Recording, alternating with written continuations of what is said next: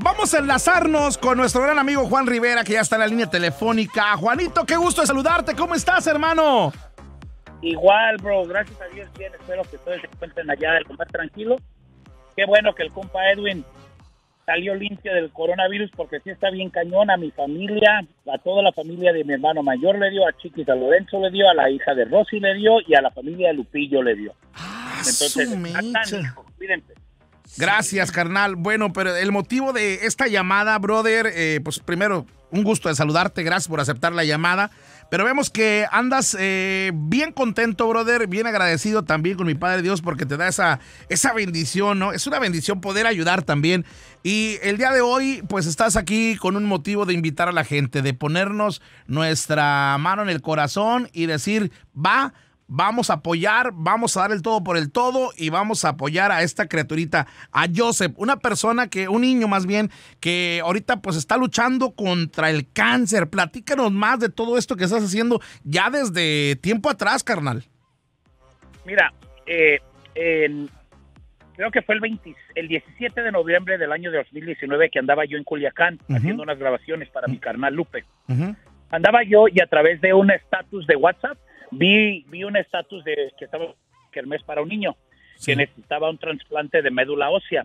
Entonces, de curiosidad, marqué y le dije qué onda, cómo podía aportar y pues me dieron, me dijeron que lo mandara lo que sea, mandé te- cajas de tequila de mi hermana Jenny para Ajá. que la vendieran allá. Las vendieron, a las dos semanas les marco, oye, ¿cuánto han recaudado? 200 mil pesos. ¿Cuánto ocupan? Un millón. ¿Para Ah, cuándo lo ocupan? Para el 10 de enero. Esto ya era el 26 de, de noviembre. Lo ocupaban en un mes, en cinco semanas. Entonces, me, me movilicé, estaba la, la feria ganadera, allí en Culiacán, estaba el palenque y todo el rollo. el- entonces, le marqué a mi carnal Lupe, le dije, carnal, hay que hacer este rollo. Me dijo, la toro.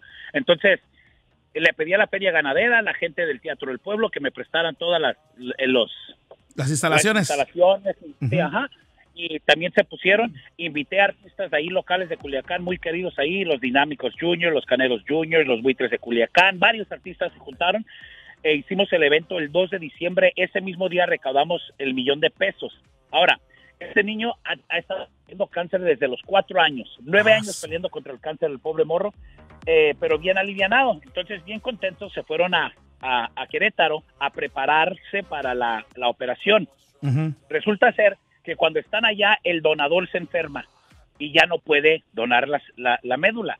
Entonces, estaban buscando otro donador, encuentran otro donador.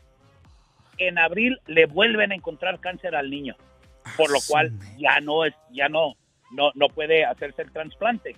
De julio a noviembre, eh, los, los 800 mil pesos que todavía tenían ahí guardados se fueron en el mantenimiento de la médula.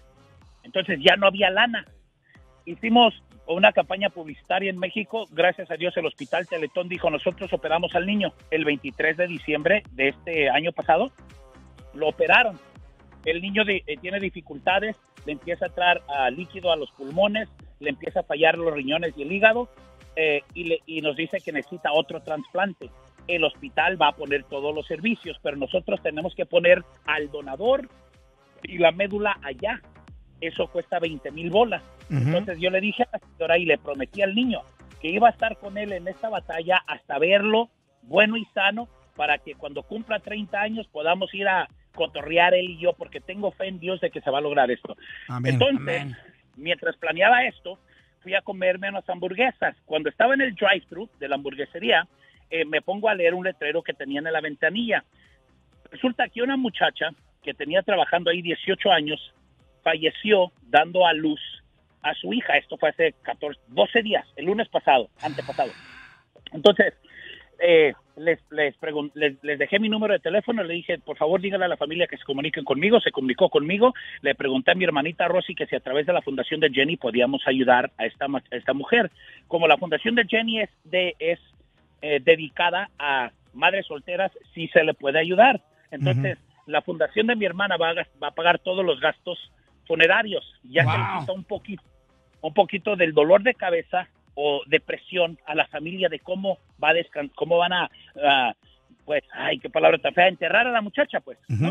Entonces, pero la, la muchacha era madre soltera, deja atrás cuatro hijos, uno de 18, una de 15, uno de, una de 11 y esta niña de 12 días.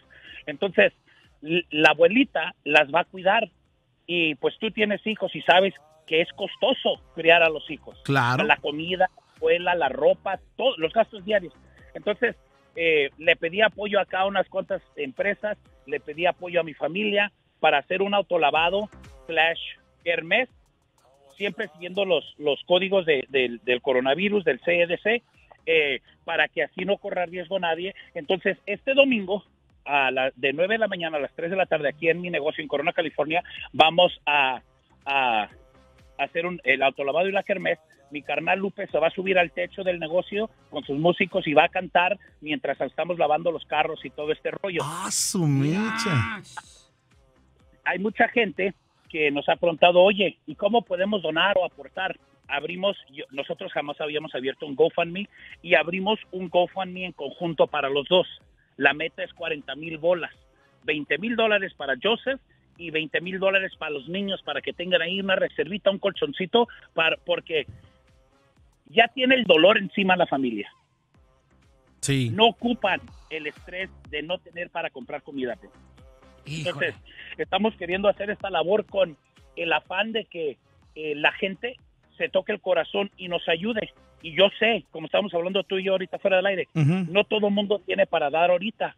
Y de eso, eso se entiende, carnal. ¿Por qué? Porque todo mundo tiene gasto. Correcto. Pero principalmente las oraciones hacia Dios llegan muy lejos, carnal.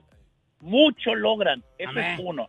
Y dos, si no tienen ustedes o la gente que nos está escuchando o, o los radioescuchas o quien sea para aportar con el simple repost, con el simple que hagan público esta, esta historia, funciona. ¿Por qué? Porque a lo mejor usted no puede donar un dólar hoy, pero la publicación que usted haga le puede llegar a 10 personas. De esas 10 personas, a lo mejor 3 sí pueden aportar. Es correcto. Y así poco a poco llegamos a la meta. Estamos hablando, mi amigo, mi amiga, con Juan Rivera, que está ahora sí que poniendo todo el ejemplo. Este es un ejemplo también para muchos artistas, carnal, ¿ok? para muchas empresas que hay que ayudar sin mirar a quién. Fíjate, él se comprometió hasta ver al niño bien, eh, ya estable, estable eh, ayudar, darle con todo. Entonces, Juanito, pues quiero que sepas también, carnal, que estamos contigo y la gente de Austin también. Vamos a ayudarte eh, en lo que se pueda. Vamos a, ahora sí que a compartir esta historia que ya está también en, nuestro, en nuestras redes sociales. Así que vamos a invitar a toda la raza y a todos los que quieran donar también, Juanito. ¿Cómo lo podemos hacer, carnal?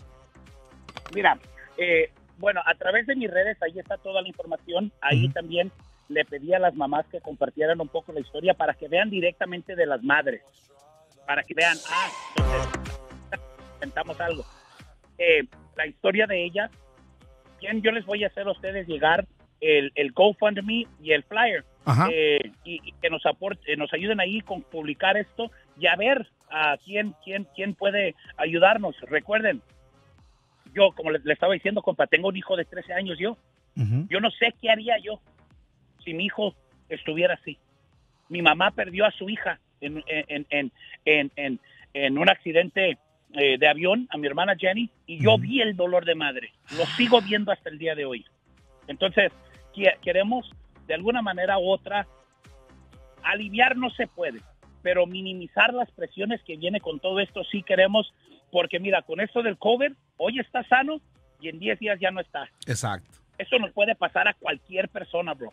Ahorita ocupamos de todo mundo, ocupamos apoyarnos unos a los otros, porque la neta eh, está difícil la situación.